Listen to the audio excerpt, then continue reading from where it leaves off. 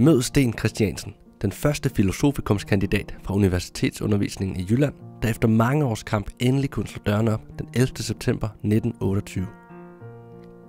Christiansen var student fra Randers og havde meldt sig som teologistuderende, men i første omgang måtte han nøjes med at deltage i den forberedende undervisning til filosofikum, som alle studerende dengang skulle tage, og derudover at læse begyndergræsk og hebraisk.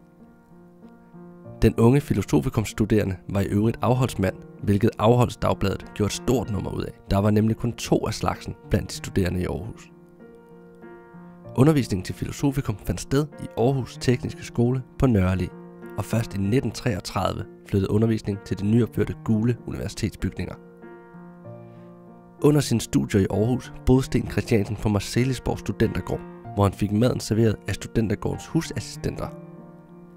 Studentergården dannede ramme om en evig debat mellem de studerende om alt mellem himmel og jord. I Aarhus kunne der endnu ikke tages eksamener i teologi, så da Christiansen havde fået sit filosofikumsbevis, som sagt det første i Aarhus nogensinde, flyttede han til København og tog sin teologiske eksamen der i 1936. Han vendte dog senere tilbage til det jyske og fungerede som sovnepræst i en række jyske sovne og døde i 1993. Har du gode minder fra din tid på AU? Del dine billeder med os på Facebook eller Instagram